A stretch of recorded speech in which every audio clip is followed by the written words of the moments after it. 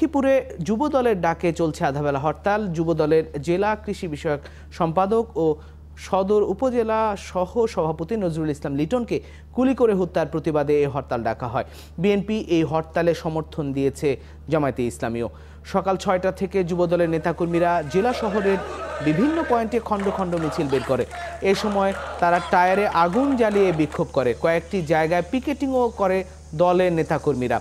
সকাল থেকে জেলার অভ্যন্তরীণ রোডে রিক্সা ছাড়া কোনো যানবাহন চলাচল করতে দেখা যায়নি। দূরপাল্লার কোনো বাসও শহর ছেড়ে যায়নি। তবে এইচএসসি পরীক্ষার্থীদের এ হরতালের আওতামুক্ত রাখা হয়েছে।